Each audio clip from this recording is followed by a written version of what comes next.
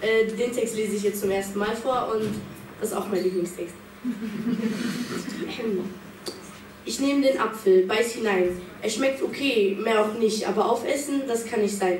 Ich lasse ihn liegen. Vielleicht ist ihn wer anders, aber das wird wahrscheinlich nicht passieren. Eine Stunde später, er liegt noch da. Zwei Stunden später, er liegt noch immer da. Am Abend liegt er noch immer da.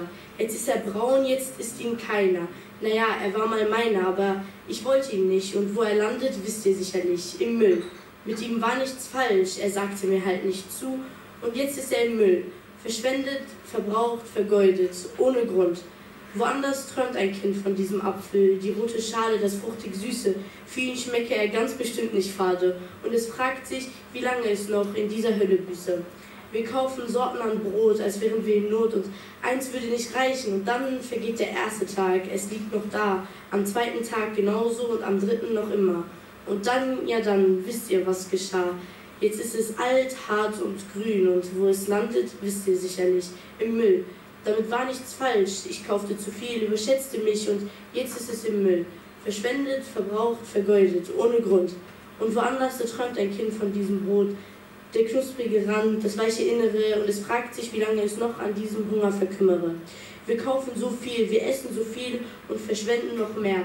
Wir sind, wir sind satt und jeder träumt von dem, was der andere hat. Und versteht mich nicht falsch, Essen ist toll und unsere Kühlschränke immer voll und ich bin dankbar dafür.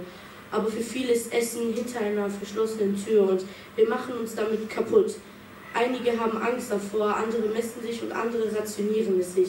Die vielen Geschmäcker, die Farben, Gewürze, Fleisch, Fisch, alles auf einem Tisch. Und klar ist, wir werden auf jeden Fall satt, doch schaut nur, wie viel jeder hier hat. Es wird so viel, verschwendet, verbraucht, vergeudet, ohne Grund so große Auswahl. Was möchtest du heute essen? Wo möchtest du heute essen? Dass einige das Essen einfach vergessen, es nicht beachten und einfach wegschmeißen, verschwenden, verbrauchen, vergeuden, ohne Grund. Und andere denken Tag ein, Tag aus nur an das Essen. Ihr Körper lässt sie es nicht vergessen. Ob sie heute überhaupt noch etwas zu sich nehmen, diese Sorge kann ihnen keiner nehmen. Ob sie heute satt zu Bett gehen oder überhaupt den nächsten Morgen sehen. Nun frage ich mich, wie lange, wie oft wollen wir weiterhin verschwenden, verbrauchen, vergeuden, ohne Grund.